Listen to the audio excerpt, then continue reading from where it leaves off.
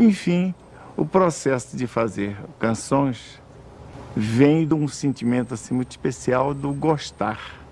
Gostar das coisas, do fato, da natureza, das pessoas, do motivo. Então o motivo está ali.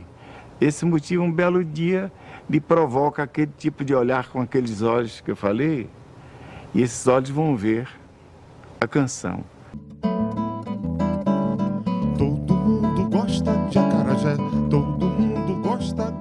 O Viva Caymmi é um espetáculo idealizado, focando a obra de Dorival Caymmi, meu pai, e é uma obra incrível, um repertório pequeno, aproximadamente 120 músicas, mas de uma intensidade muito grande. É, Pode-se dizer que não dá para jogar nenhuma fora, nenhuma é, é, é, má música, né? Então, para mim, é um prazer redobrado trabalhar com esse repertório de meu pai e também é, participar desse, é, juntamente com, com o Nilson Raman, um dos idealizadores do, do espetáculo, e Flávio Mendes também, que é meu maestro, meu querido maestro.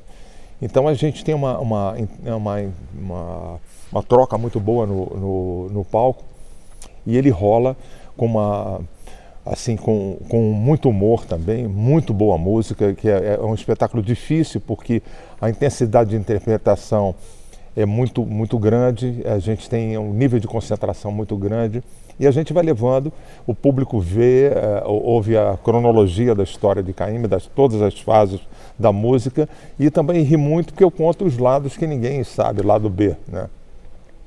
Esse ano completam 105 anos de nascimento de Dorival Caymmi. Por isso, nosso projeto de levar para todo o Brasil a relevância da sua obra, a relevância da sua história e como ela foi pilar para muitas coisas da música brasileira.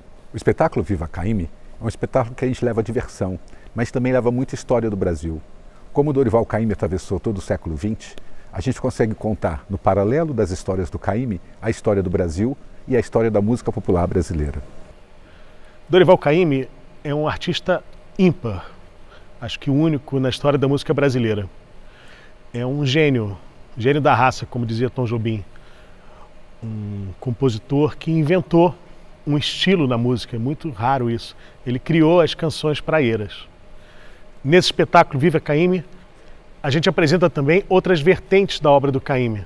Além das canções praeiras, tem os sambas mexidinhos, e tem os sambas canções da fase urbana dele no Rio de Janeiro. O show tem músicas maravilhosas, especialmente eh, algumas canções que eu gosto de interpretar e que aprofundo muito, tipo Nem Eu, né, que é uma questão da fase, uma, uma, uma canção da fase urbana do meu pai.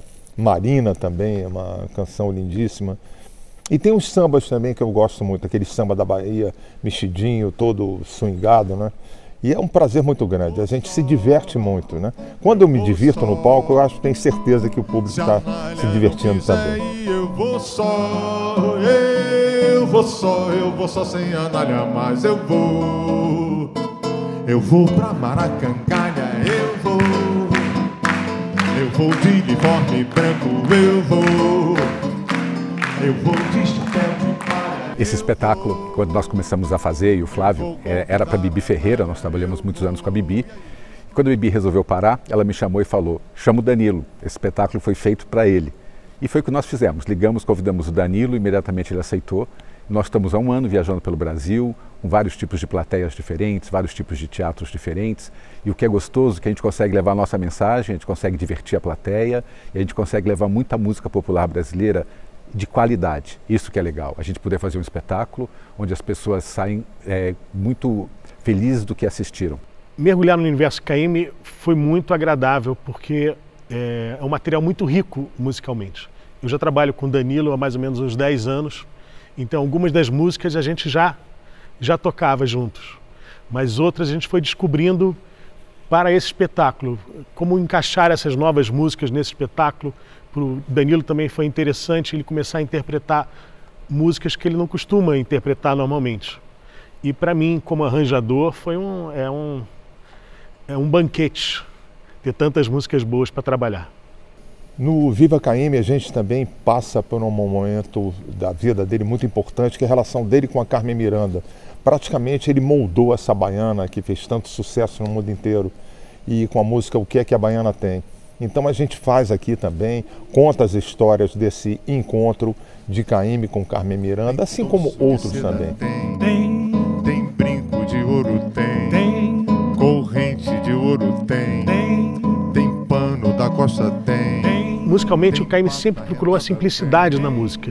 E não dá para confundir com uma música simplória. Uma música simples é uma música muito difícil de fazer. Ele costumava dizer que ele queria ser o compositor como de Ciranda Cirandinha, de alguma coisa que se perdesse no povo, como se do povo sempre tivesse vindo. Outra coisa bastante interessante quando termina o espetáculo é o público falar: eu não sabia que eu sabia tanto Caíme de cor. Porque quando a gente vem com o repertório, as pessoas percebem que, ah, isso também é Caíme, isso também é Caíme, e percebem o, a genialidade desse músico, o brilhantismo desse músico, que com uma, são 120 músicas, mas 120 pérolas da música brasileira. Caíme tem um, um, um dado também que é muito interessante, é o violão dele, é um violão muito próprio. Um violão que ele toca, a mão direita dele é uma mão única, assim, ninguém consegue. O Danilo conta que uma vez na casa dele é, se reuniam Baden Powell, Edu Lobo, Dori Caymmi, grandes violonistas, e que ninguém conseguia reproduzir exatamente a batida do, do, do Dorival. Você já foi à Bahia, nega? Não? Então vá. No show, eu como violonista, também não consigo repetir exatamente a batida do Dorival. Algumas vezes eu tento chegar um pouquinho perto. Mas é muito interessante como o, o violão do, do, do Caymmi influenciou, por exemplo, o violão do João Gilberto, um violão muito moderno que modernizou o violão brasileiro e todo mundo que veio depois bebeu na fonte do João Gilberto, que bebeu na fonte do Caymmi. É muito interessante pensar que o Caymmi não tem seguidores e não teve grandes influências. É realmente um, um gênio. É, nós da, da família Caymmi, eu, Nana e Dori, a gente tem uma influência, eu não poderia passar para esse espetáculo sem citar minha mãe. Influência na interpretação de Estela Caymmi, que era uma grande cantora, e a gente tem um pouquinho dela. Eu acho que ela chegou a influenciar até meu pai mesmo, nessa, na área de música. Uma pena que desistiu tão cedo do, da profissão. Eu fico contando as histórias é, em ordem cronológica, né?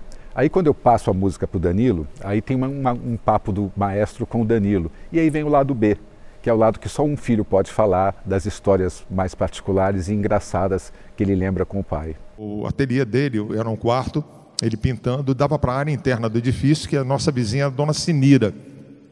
E a dona Sinira virou para ele: Seu Caíme, que música bonitinha o senhor está cantando. Não dá pé de trocar a Nália por Sinira?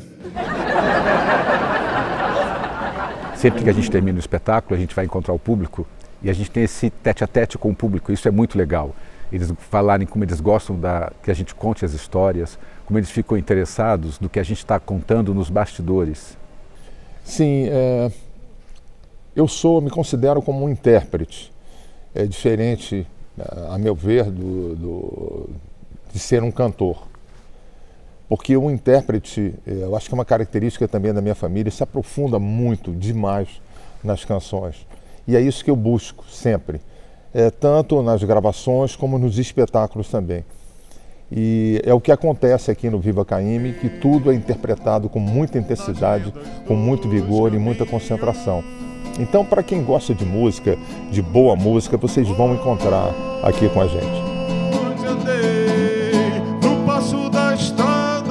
me leva amor. Tenho a minha amada me acompanhar. Vim de longe, léguas cantando eu vim.